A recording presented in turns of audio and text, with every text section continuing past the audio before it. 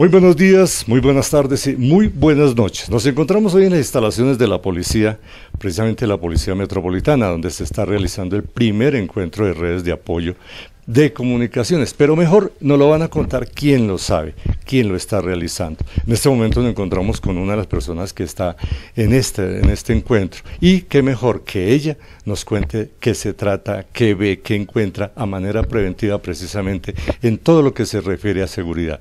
Doña Ligia, muy bien, muchas gracias por recibirnos. Este es su micrófono. Cuénteme, eh, ¿qué encuentra usted en este primer encuentro de las redes? Bueno, muchas gracias. Eh, mi nombre es Ligia Rojas, represento a las empresas de vigilancia y seguridad privada, soy la madrina de la red de apoyo y solidaridad ciudadana, eh, aliados para eh, la prevención frente a los delitos.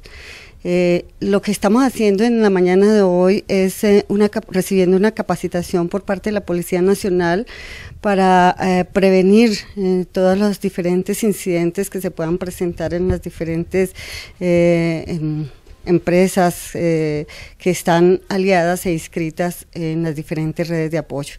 Eh, nuestro trabajo como eh, aliados para la prosperidad es eh, ir de la mano con la Policía Nacional y colaborar mancomunadamente para que estemos siempre alertas en situaciones mm, mm, que eh, coadyuven a que la policía cumpla con su trabajo, con su deber. Lo que nosotros hacemos es informar, darle, tener una comunicación directa con la Policía Nacional y poder eh, eh, minimizar los riesgos que se presentan en la ciudad de Tunja.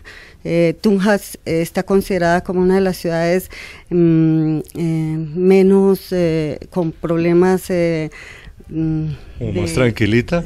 Sí, de las ciudades más tranquilas, pero aún así eh, ha llegado mucha población. Hemos visto que nuestra ciudad ha crecido año tras año y, se trata de eso, de que trabajemos con la Policía Nacional de la mano y poder ayudarlos en todos los programas que ellos establecen.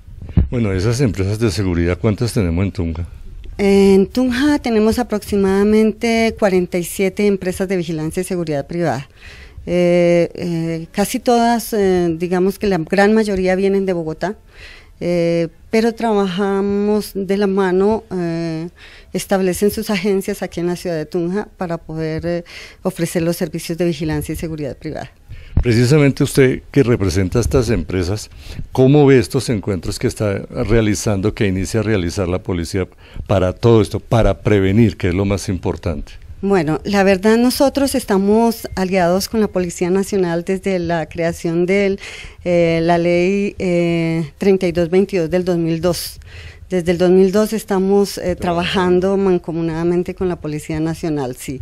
Y eh, ahora en los últimos años se han unido las otras empresas en la creación de otras redes las redes empresariales, las redes de emergencias, y nosotros siempre hemos estado de la mano. Creo que la creación de las redes de apoyo eh, nace de la vigilancia y seguridad privada.